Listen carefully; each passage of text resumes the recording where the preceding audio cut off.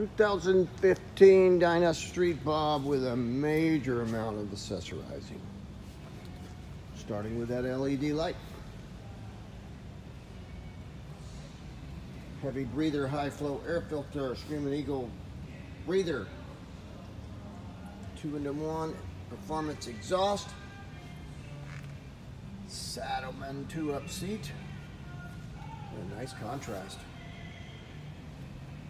Saddlebags, old school sissy bar with pad.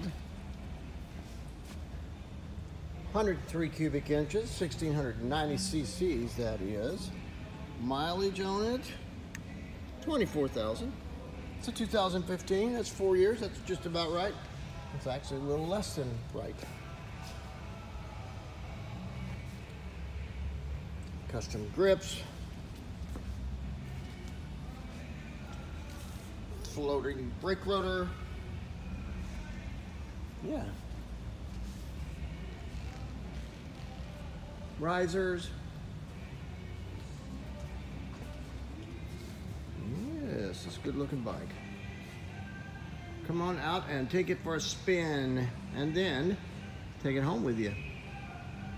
We'll see you soon, Salem Harley Davidson, Salem, Oregon.